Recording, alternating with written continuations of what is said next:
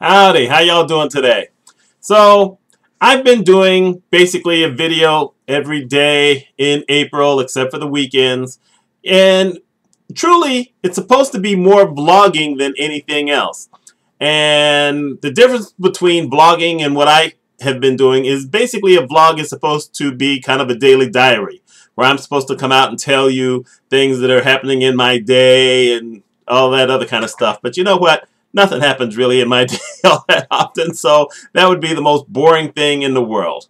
Instead, I'm going to recount something here, or I'm going to tell this little thing here because this is interesting to me. I love looking at pictures. If you saw my little avatar there, or whatever they call that little picture down there below, um, maybe it's a thumbnail, I don't know. Anyway, you saw me holding a photo album. I love looking at pictures. Um, there are places in this world one, that I'm, I know I'll never get to. Two, I know I don't want to go to. so I get to see pictures of all kinds of things, you know, around the world. I love looking at those pictures. I'm one of those few people who will go, you know, whenever I have visited people and want to look through their photo albums if they have any. I love seeing pictures of their family and you know outside the house and whatever. I just love looking at pictures and seeing the types of things that interest people. And, you know, it probably comes from the fact that my family, me, you know, it was just me and my parents, just the three of us. We moved around a lot, but we were not one of those families that took a whole bunch of pictures. Uh, something that's probably strange to younger people now, but this was my reality, is that I didn't see a picture of me as a baby until I was 40 years old when there was a surprise party for me and this other guy. He didn't turn 40, but our birthdays were like a couple days apart. And our wives uh, tricked each of us into thinking that it was a surprise party for the other person. And then we both showed up, kind of snickering at each other. And it turned out it was for both of us. So that was really sneaky. And we both had cakes. And my parents had gone to a family reunion the summer before down in Louisiana and one of the relatives had a picture of me as a two-week-old baby. And no, no, that's not right. Two-month-old baby. Two-week-old. That would have been interesting. No, but I was, I was two months old. And it's the only baby picture that they have of me. There's no baby pictures of me as well as a baby from my parents. Um, the youngest I was in any pictures with my parents is two years old.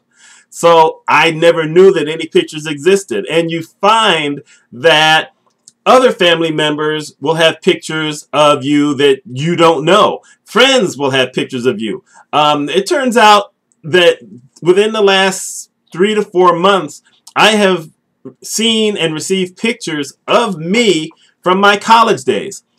I didn't realize that there were maybe more than one or two pictures of me at college ever because not everyone walked around with cameras back then. We didn't have smartphones. Uh, you know, it cost some money to um, to develop film. Yes, we developed film back then. You had to take it to someone else, and sometimes it took a week. Sometimes it took two weeks to get pictures back. Uh, so not a lot of people walked around with cameras. Um, I didn't know anyone who was a professional photographer except for the guy who used to show up at school uh, to take your picture. So it just wasn't anything I ever really got to see. And so over the last few years, I've been able to, you know, go to mom's house where she has produced these photo albums that she hadn't really paid any attention to for years. And I've been looking through pictures of me and them and some of the places that we've been um, on, on trips. For instance, I lived in Tokyo, Japan for three years, and there's very few pictures of me in, in, in Japan. I mean, very few pictures, period, of us in Japan. I lived in Kansas City, Missouri for a year. Only a couple of pictures. That's it. I mean, we just we just didn't do that. Me in Maine. I lived in northern Maine for four and a half years. And almost no pictures. Except for the school picture. There's almost no pictures of me or my family in northern Maine. Uh, there's a few more pictures in Texas. That's where I was born for my first three years. Uh, only because my grandfather visited and my cousin Gail visited, so there were pictures there. And there were a couple of pictures of the house because my parents had actually built a house uh, for a couple of years while we were there. But overall, there's not a lot of pictures. So, when Instagram decided to make itself available for Android, I was ecstatic because now I can go on there and I can hook up with friends and I can see all their pictures or hook up with people I don't know. I mean, there's people I don't know who are following my Instagram channel because they love to follow my pictures and I take pictures of everything mainly food. I'll, I'll load up to that. I go out a lot, and so I take pictures of stuff. Or I go to the grocery store, Wegmans, and I see something that looks weird or interesting, whatever, and I take pictures of that. I go out with other people, and I'll take pictures of their food. I will take pictures of the restaurant. Sometimes I see sky images that look really cool, and I take pictures of those.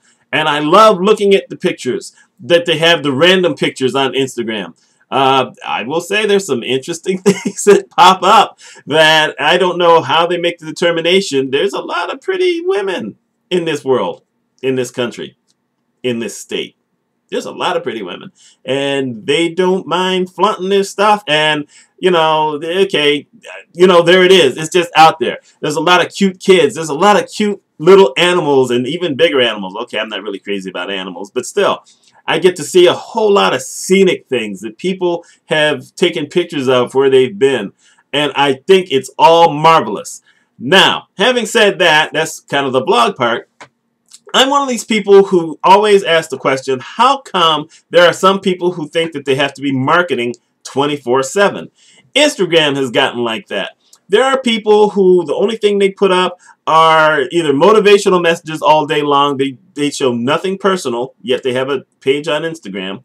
Or they're marketing. You know, I see the little video clips. Uh, 10 to 15 second clips where they're advertising something. Now Instagram's getting ready to move that to up to a minute of advertising. So, oh my goodness, please don't do that. But they're going to do it. And they're trying to get you to go to their YouTube channel or go to their blog and all this other kind of stuff. And I have refused to use Instagram for business purposes because for me, that's kind of a fun place. I just want to go and look at pictures. I don't want to look at your messages. Now, I will say there are some very creative people who do these little short videos. And what they can get away with in 15 seconds has been amazing. So if some of those people extend it, I think that would might be fun. But the marketing aspect of it and, you know, the motivational messages, which I'm not opposed to motivational messages, but if that's all someone is putting up, and you know they've got a link there that they want you to go visit their website, okay, you know, I'm just not into that. I like seeing a whole lot of other stuff. Like I said, I just find that pleasurable. I can spend an hour just going through pictures on Instagram. You know, it's just a little thing with me. I don't know how y'all feel about pictures. Like I said, if you're younger, you've grown up seeing tons of pictures. If you're my age, maybe you didn't uh, you know what? Maybe there is a difference. Maybe it's just the fact that, you know, I was a black family that was traveling around and, you know, we didn't really have tons of money. We were a military family. So, you know, maybe that's why we didn't take a lot of pictures. I know that rich people used to take pictures in movies all the time. So, let me know your thoughts on that. You know, how do you feel about pictures and such? Y'all let me know. And I hope you're having a wonderful day. Let's all have a wonderful day. Peace.